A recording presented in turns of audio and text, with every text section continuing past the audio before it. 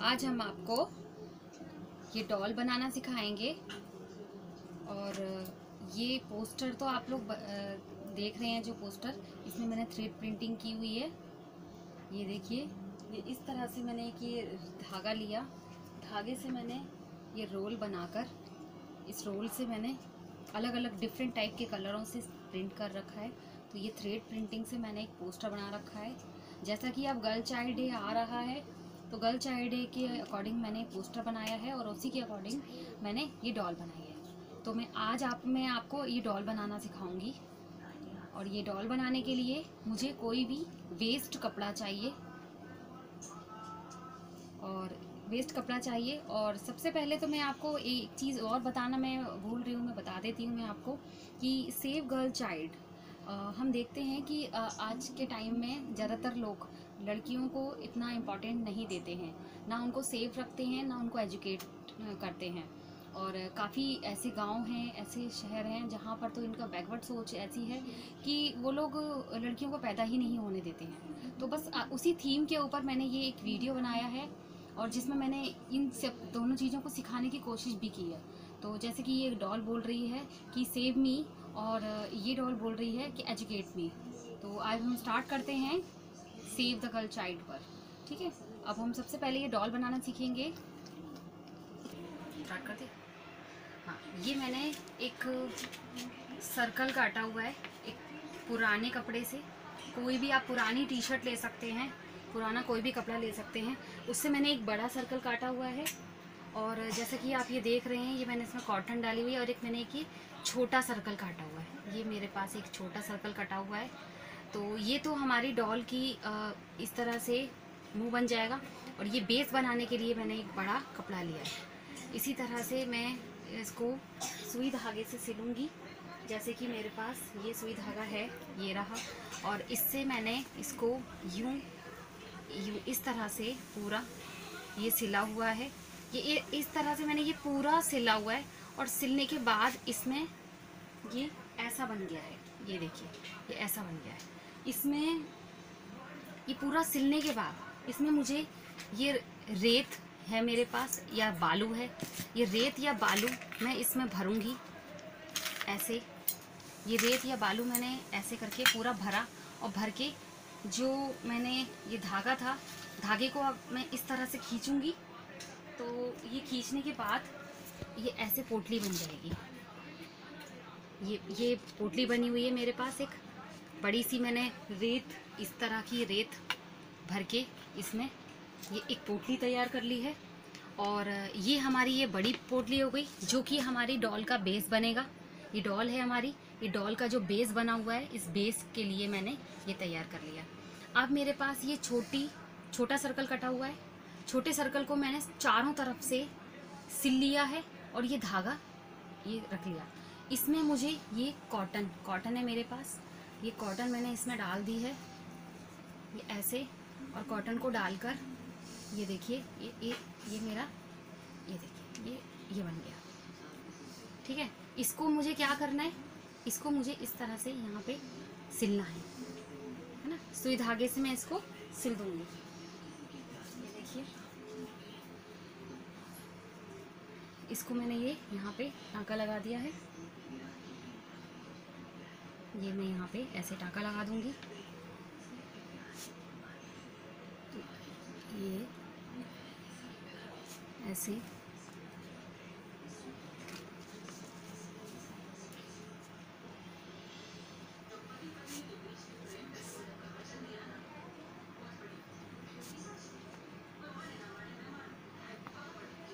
ये देखिए, ये मैंने टाँका लगा दिया है ऐसे, इसको सिल दिया है मैंने। अब मुझे इसके डॉल के बाल बनाने हैं, जैसे कि डॉल के बाल बने हुए हैं। डॉल के लिए मुझे वुलन की ज़रूरत पड़ेगी। हम कोई भी कलर का वुलन ले सकते हैं। मेरे पास ये ग्रीन कलर का वुलन है तो मैं ये ग्रीन कलर का वुलन ले रही हूँ। ग्रीन कलर के वुलन के लिए मैंने ये कॉपी के पेज लिए हैं कुछ, क्योंकि मुझे कुछ चौड़ाई इतनी चाहिए। तो मैंने जितनी, जितने लंबे बाल रखने हैं, हमें आप उतने हिसाब से इस तरह से यूँ लपेट कर बहुत सारा लपेट कर ये ऐसे करके आप निकाल लेंगे। ये हमने ये निकाल लिए हैं। ये निकाल लिया मैंने, ये रहा। ठीक है? इस तरह से लपेट के मैंने निकाल लिया और निकाल के मैं इसे क्या करूँगी? इसे यहाँ पे मैं ऐसे रखूँगी। ये। और रखने के बाद ये पीछे तक कि पीछे तक उसके बाल दिखें और मैं यहाँ से इसको सिलना स्टार्ट करूँगी। ये देखिए। ये देखिए। मुझे जितनी लंबी चोटी रखनी है डॉल की, मैं उतने ही लंबे इसके बाल रखूँगी। और यहाँ से मैं ये मांग बनाऊँगी डॉल की। जैसे कि डॉल की हम दो चोटी कर लेते हैं लड़कियों की उस टाइप से। ये देखिए ये धागा आप कोई भी कलर का ले सकते हैं, अगर वुलन के कलर का लेते हैं तो ज़्यादा अच्छा रहेगा।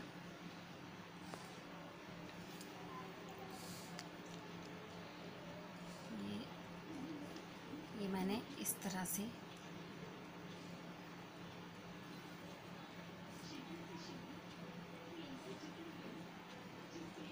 ये मैंने ऐसे सिल के इसकी मांग बना दी है।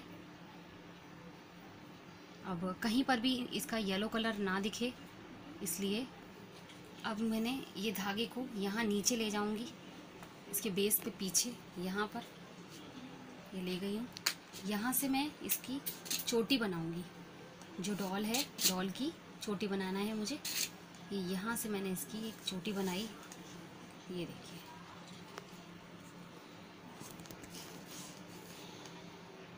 ये देखिए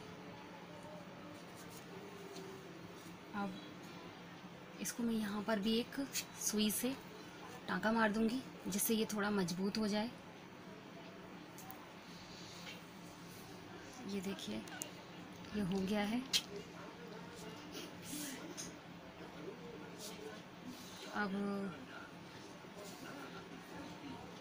ये इसको पीछे से लिया मैंने ऐसे, और अब मुझे इसकी डॉल की दूसरी चोटी बनानी है। तो दूसरी चोटी बनाने के लिए मैं धागे को इस तरह से लपेट दूँगी। ये मैंने लपेट दिया है। ये ऐसे। ये लपेट के मैंने यहाँ पर एक टाँका मार देना है, जिससे थोड़ा सा मजबूती आ जाए इसमें। ये देखिए, अब ये डॉल के बाल बन चुके हैं। और ये चोटी बन चुकी है डॉल की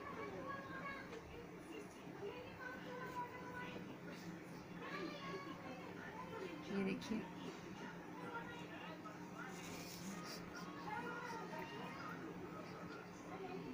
ये देखिए, ये बैक पे भी हमें ध्यान रखना है कि बैक पर ये जो ऊन है, ये बराबर से पीछे तक आए। ये पीछे तक आना चाहिए। हमें इस चीज़ का ध्यान रखना होगा।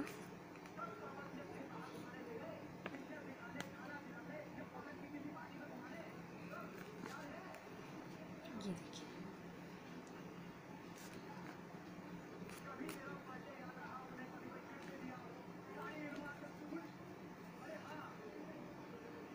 ये देखिए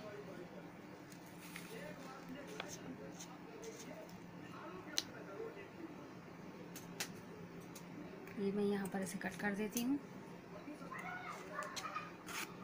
अब इसके बालों को मैं इस तरह से कट कर दूँगी। ये देखिए, यहाँ पर भी।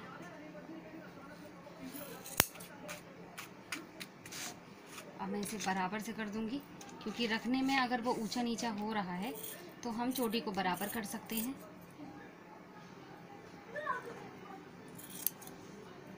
देखिए चोटी मैंने बराबर कर दी है।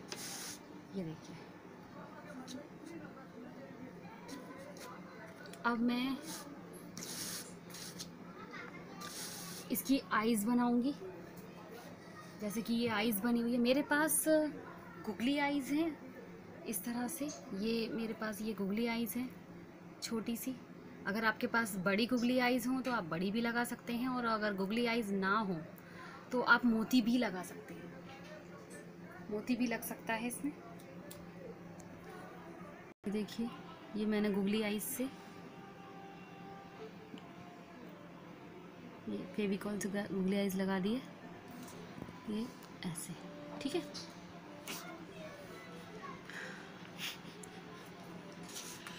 मैं कोई भी डार्क कलर का स्केच पेन ले लूँगी।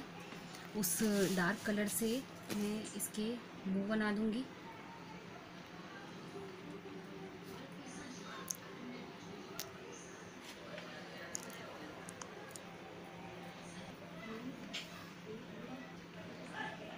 ये बन गया है। अब इसके बाद यहाँ पे बस मुझे डिज़ाइन बन, लगा देना है।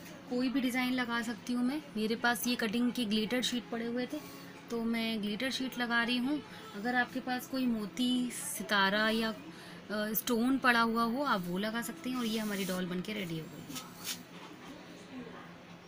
इस तरह से ये डॉल हमारी रेडी हो गई हैं, जो कि मैंने एक थीम बना दिया है उनको कि save me please educate me please आप देख सकते हैं, ये मैंने थ्री डॉल्स रेडी कर रखी हैं यहाँ पर। देख लीजिए आप।